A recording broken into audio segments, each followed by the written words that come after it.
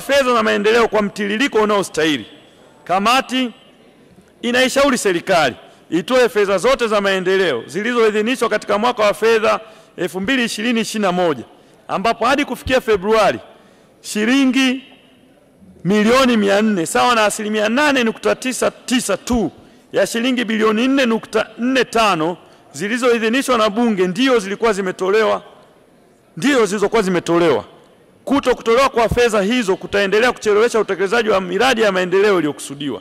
Pili, pamoja na sheria ya marekebisho ya utumishi wa umma namba 18 ya mwaka 2007 kuiondoa idara ya uhamiaji kutoka katika usimamizi wa sheria ya utumishi wa umma na kupelekwa kwenye usimamizi wa tume ya utumishi wa jeshi la polisi, uhamiaji na magereza chini ya wizara ya mambo ya ndani ya nchi, bado idara ya uhamiaji pamoja na mambo mengine haipati stahiki za kimaslahi na huduma za msamaha wa kodi kama vyombo vingine vya jeshi katika wizara ya mambo ya ndani ya nchi.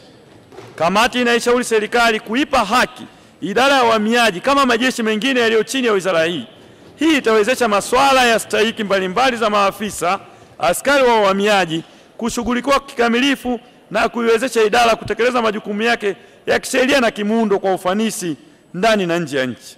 Aidha, kwa kuwa tangu mwaka 2007 idara ya uhamiaji ilianza kutumia muundo wa utumishi wa maafisa na askari wa uhamiaji wenye vyeo vya kijeshi sawa na vyombo vya ulinzi chini ya Wizara ya Mambo ya Ndani ya Nchi. Kamati inaishauri kamati inashauri sheria ya uhamiaji sura ya 54 rejeo la mwaka 2006 ifanyiwe marekebisho ili idara hiyo itambulike rasmi kuwa ni jeshi. Pamoja na kuwa idara ya uhamiaji inachangia kwa asilimia kubwa katika mapato ya Wizara ya Mambo ya Ndani ya Nchi, idara hii inakabiliwa na uchache wa vyombo vya usafiri ambavyo pamoja na mambo mengine vinasaidia katika doria ya kuwabaini wageni wanaoishi bila vibali vya ukaazi. Kamati hivyo inashauri serikali kuwezesha idara kupata vyombo vya usafiri ili kuwabaini wahamiaji wasio na vibali na kuwachukulia hatua stahiki ikiwa ni pamoja na kuwalipisha ada husika na faini.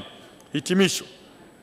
Mheshimiwa Spika, napenda kushukuru kwa kunipa nafasi kwa ajili ya kuwasilisha taarifa hii.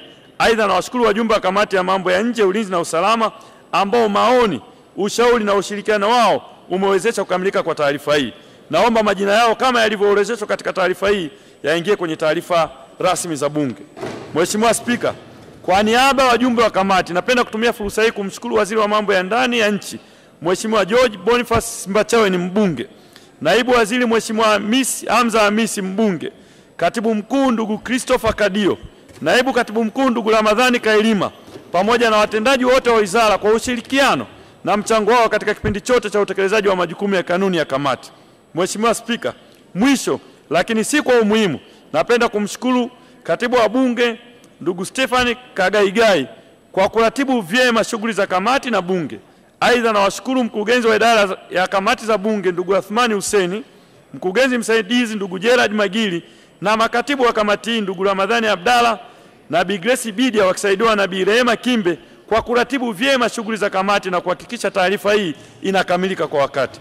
Mheshimiwa Mheshimiwa Spika, baada ya maelezo hayo, sasa naliomba bunge lako tukufu lipokee taarifa hii ili lijadili na likubali kuidhinisha makadirio ya mapato na matumizi ya Wizara ya Mambo ya Ndani ya Nchi kwa mwaka wa fedha 2021/22 kama yalivyowasilishwa na mtu wa hoja. Mheshimiwa Spika, naunga mkono hoja, naomba kuwasilisha.